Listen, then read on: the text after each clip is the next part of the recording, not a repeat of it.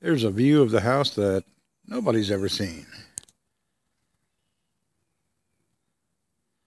We cleared this yesterday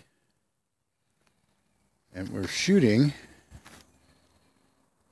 for the cornfield which is just beyond the rock wall. These old trees are laying right on the wall. The goal is to go from here to right over there.